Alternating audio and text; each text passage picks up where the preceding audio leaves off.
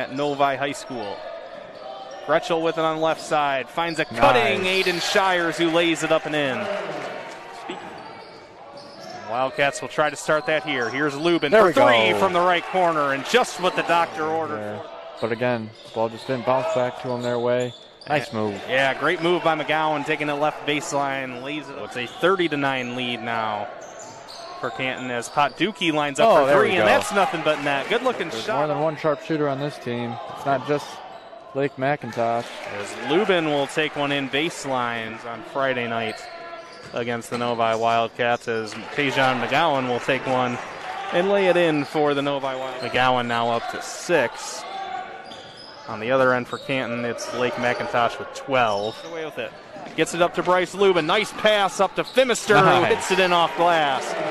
And Novi has scored the first to McGowan, now to Gretchel, top of the three-point line. He'll Nice drive in and dish it off to Preston Fimister, who lays it in, and he pokes it away to McGowan. McGowan trying to go through the can defense, Nice. will put up a floater that rolls in. Three, misses it, gets his own miss, though.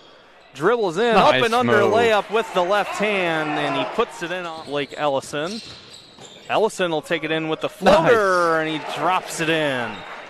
Good looking shot there. As Devin Lacey saves one and then lands in the scorer's table, and then Blake Ellison lays it in. It, it just wasn't really a fair yeah, it didn't make much sense. So now they're sh- uh, seeding things as we see a three pointer, but that's going to bring us to the end of this one. And the final score from Novi High School is 56 to 38. Canton with the victory. Their leading scorers were Lake McIntosh with 16 and Ryan Tarquinto with 12. For the Novi Wildcats, it was Tejan McGowan with 10. And you had seven points for Bryce Lubin and then six apiece for Blake Ellison and Preston Fimister. So a rough outing for the Wildcats again tonight. And Ryan, they'll be on the road with a chance to redeem themselves against Brighton on Friday.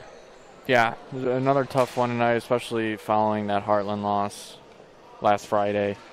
But hey, it's another opportunity to go on the road and you know change the script of this season, Jeremy. So I'm looking forward to the results of the Brighton game, and yeah, so So our next broadcast will be this Friday, March 5th, where we welcome the Lady Wildcats back home after a three-game road trip.